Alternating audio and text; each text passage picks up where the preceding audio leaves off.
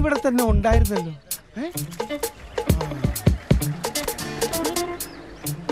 എവിടെ പോയി? എടാ ഇമ്പ്രി കണ്ണ കണ്ട. ഇല്ല. ഇവിടെ നിപ്പുണ്ടായിരുന്നു. എന്നെ കണ്ടപ്പോ മുങ്ങിയതാ. വിടുന്നവനെ വിടില്ല ഞാനവനെ?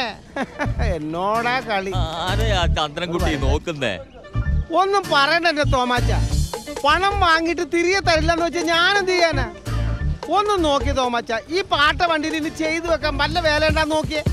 കിട്ടുന്ന കാശ് മുഴുവൻ ഇതിനെ ഒരുക്കിക്കൊണ്ട് നടക്കണവൻ പൈസ തരാണ്ട്. ആ, ഉണ്ടാ? പൊന്ന് തോമാച്ചായ ഒന്ന് രണ്ട് മൂന്ന്. ഓ എല്ലാം തയ്ച്ചണ്ടല്ല.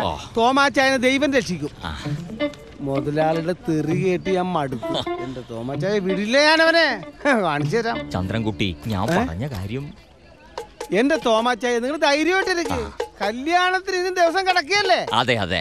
ചന്ദ്രൻകുട്ടി പറഞ്ഞ അതിന്റെ അപ്പുറം ഇല്ല മുതലാളിക്ക്.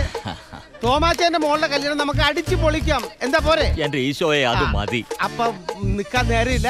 കാശി തരാനുള്ള ഒരു അഞ്ചാറ് പിശാശി മക്കളെ കൂടി എനിക്ക് പൊക്കാനുണ്ട്. അപ്പൊ നമുക്ക് വൈകിട്ട്. ഓക്കെ? എടാ ബാലു വൈകിട്ട് കാണാം അത് ശരി. പോയോ എന്തായാലും കൊള്ളാം.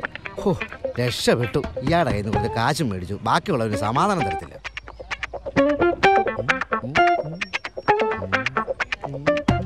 മതി. ബാക്കിയുള്ളവനോട് മൂന്ന് ദിവസം ഫേഷ്യൽ ചെയ്തിട്ട് അപ്പോഴയാളുടെ ഒരു പലിശ പൈസ.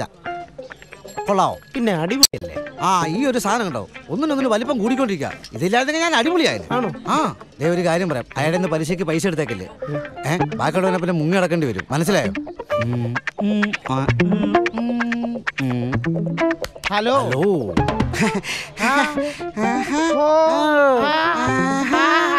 ചേട്ടൻ ഇതുവരെ എവിടെയായിരുന്നു ഞാൻ കണ്ടില്ലല്ലോ.